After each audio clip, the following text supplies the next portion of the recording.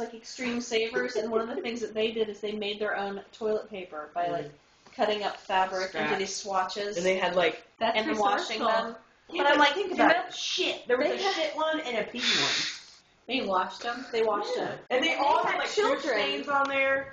And they had they had kids too, and they were Like like, streak marks. at the end of on the their year, toilet they were paper. saving like a hundred dollars. How would you feel about wiping your ass with someone else's streak marks? The Romans used like a bucket of water with brushes just in it, and anybody who needed it would just use the brush Oh, and then that's throw an it extra back in the bucket water. of water.